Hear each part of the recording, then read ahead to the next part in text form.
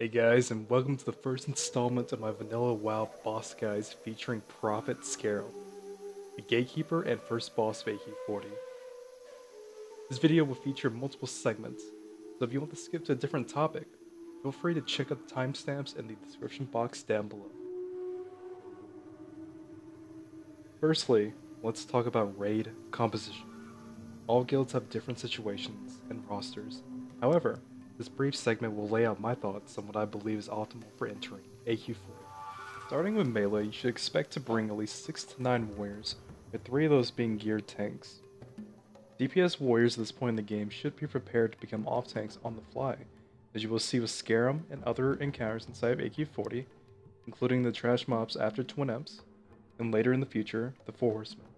Try to bring 3 to 5 rogues, since their spell disruption and stun locking abilities are incredibly valuable for fights such as Skeram and the giant eye tentacles during Phase 2 on C'Thun. For your healers, it's required to bring 10 to 12. However, due to progression, you may need to increase the numbers to 13 or 14, depending on your guild situation. Always make sure to have a fair distribution of priests, druids, paladins of your alliance, shamans if you're horde, so that there is a full coverage of blessings, buffs, and totem management. Overall, there will be much more raid damage occurring in AQ40, which will put your healers to the test and provide good experience for next rounds. Lastly, your guild should try to bring 67 warlocks and 67 mages, as caster DPS begins to spike considerably in AQ40 and beyond. The introduction of fire mages and the scaling of warlocks is the gear that begins dropping from the bosses. At this point in the game, fights begin to favor ranged DPS as you will see with C'Thun, Ouro, and so on. If possible, try to keep the number of hunters in your guild limited at 2 or 3 raid slots, since unfortunately due to the state of the game, they begin to become outshined by the other DPS classes, along with the lack of encounters requiring more than a couple. Our next segment focuses on raid positioning where you will see all of the areas that tanks, healers, and DPS are located at during the fight. The fight will begin with all members of the raid group following the main tank forward up the stairs. At this point, the raid will split up to their assigned positions with the main tank focusing on Skeram and tanking him where he stands or against the back wall. Fury warriors and rogues assigned to the middle platform will follow their main tank and begin their DPS rotations as soon as possible. At the same time, warriors and rogue teams will break off for the left and right platforms to get ready for Skeram's clone ability at 75% health. It is recommended to have at least two tanks on each platform due to the possibility of mind control so that the other can take over. We will cover this ability in a later segment. Healers will be forced to cover a wide area that includes the left platform, back area behind Skeram, and right platform as dictated by the healing assignments from your officers. Finally, ranged DPS will always place themselves behind Skeram and above the highest staircases. Expect to always be on the move, as we will see in later segments.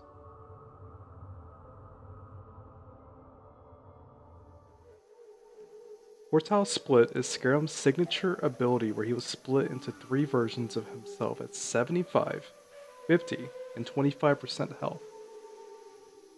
Out of these three entities, two will be illusions while the third will be the real one.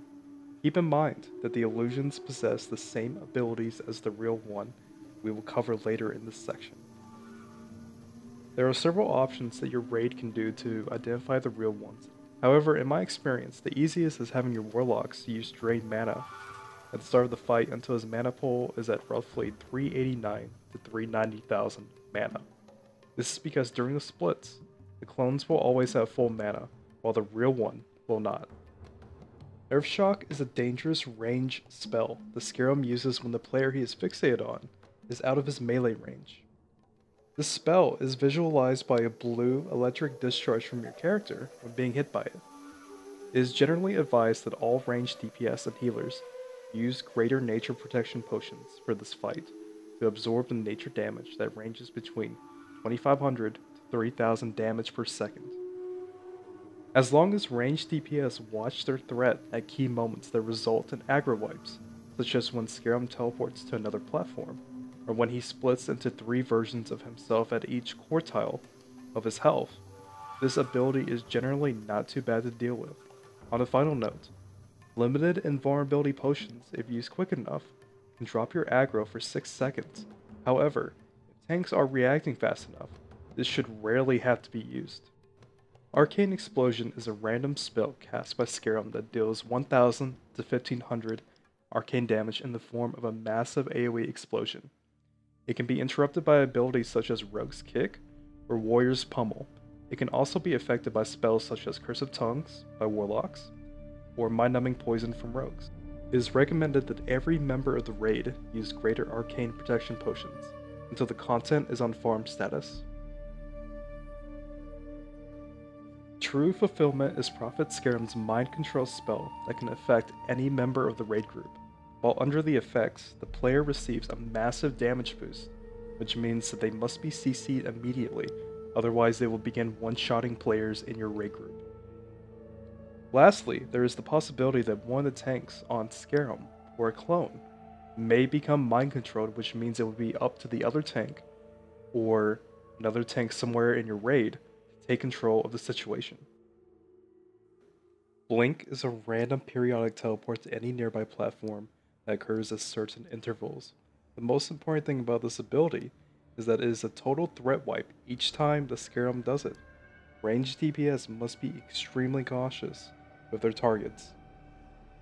Before we finish this section, I just want to talk briefly about numerical values. Due to many different versions of vanilla World of Warcraft, whether it's 2006, various private servers, or classic World of Warcraft, there is a lot of discrepancy in what the actual values are. According to some estimates, Skeram should hit for around 2,000 to 3,000 damage in cloth armor. His health should be around half a million, but depending on your source, you may reach a different answer. For the last segment of this video, we will go through the fight from start to finish with my commentary laid on top of the gameplay.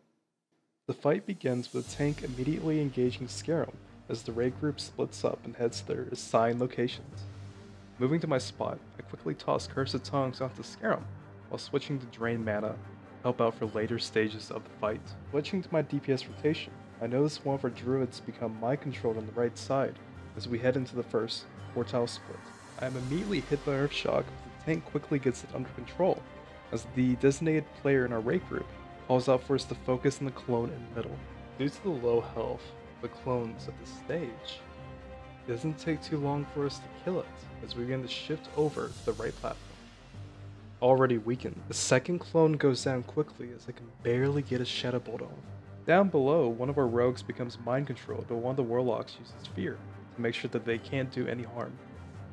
By the time I get there, the raid is already close to pushing Skeram into Phase 2. Shortly afterward, Phase 2 starts with one illusion appearing on the left platform, while the real Prophet Skeram and another illusion spawn on top of each other in the middle. This could be a problem for inexperienced guilds. It will be up to your tanks to coordinate if they need to separate them, or if the situation is under control. Before we can kill the illusion, it suddenly blinks to the left platform, and casters start getting hit by Earthshock, while the tanks quickly try to stabilize the situation. With the illusion down, we start shifting back the way we came as the real Skeram suddenly teleports on top of the last clone. Unfortunately, we lose the target as the clone suddenly blinks away and several people in the raid are hit by arcane explosion. The hunter in front of me is suddenly MC'd, forcing me to stop and cast Fear with another mage assisting with Polymorph. Fortunately during this time, the group finishes off the last clone and we begin regrouping for phase 3. During this phase, the raid group will always want to focus the real Skeram while keeping the illusions under control. Unfortunately, the real one teleports away as I activate Toep, and a sudden barrage of earth shocks almost sends me to my grave.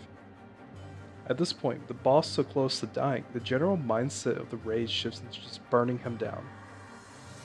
After a few intense seconds with a lot of stuff happening around us, we finally burn Skeram down, ending the fight. In conclusion, Prophet Skeram is a heavy fight that requires a lot of movement and adapting to the situation, but with proper control, coordination, and pacing, the fight will be yours in the end. Thank you guys so much for watching. If you notice anything I missed or have some tips of your own, feel free to let me know your thoughts in the comments down below.